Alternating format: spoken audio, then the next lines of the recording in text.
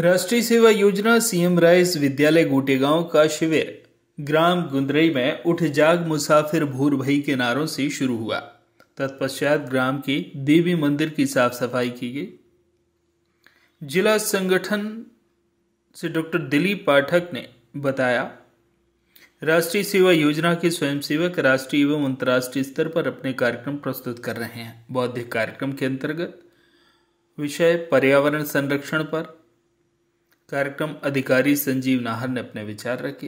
ग्राम पंचायत की दीवार पर बाल मजदूरी उन्मूलन व नशे की रोकथाम से संबंधित बहुत ही सुंदर चित्रकारी और विभिन्न नारों का लेखन किया गया। गोटेगांव से नील जैन की रिपोर्ट।